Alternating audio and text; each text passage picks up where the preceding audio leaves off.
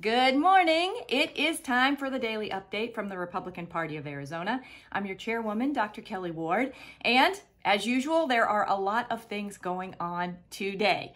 Now, I know that yesterday I promised you an update on what was going to happen with our state case, but there's a lot of moving parts in that, and we don't know where we are going. We may be appealing to the Supreme Court.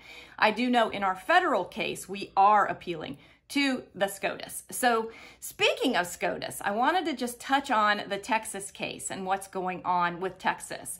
So, Texas has sued Georgia, Wisconsin, Michigan, and Pennsylvania because they unconstitutionally changed their election processes midstream, many times blaming COVID, and that disenfranchises the rest of the country.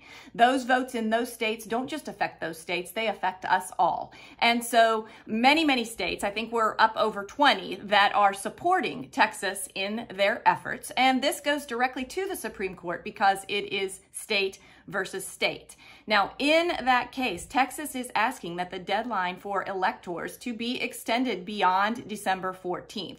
Um, and I agree with that. I can tell you that anyone in the media saying that December 8th is the be all end all safe harbor date is completely and totally wrong.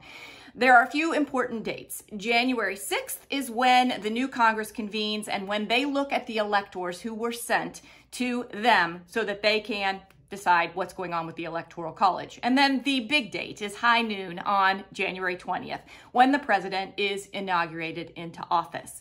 So this election is not just about um, what's going on in state versus state versus state. These cases aren't just about what's going on in, in state versus state versus state.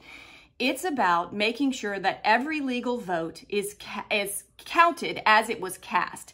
It's about making sure that our elections have integrity. I can tell you that I, Kelli Ward, the patriot, the uh, the American citizen, uh, I will always fight for our republic. Uh, I will do that from this position as chairwoman of the party, and I will do it as an individual, and I know you will too.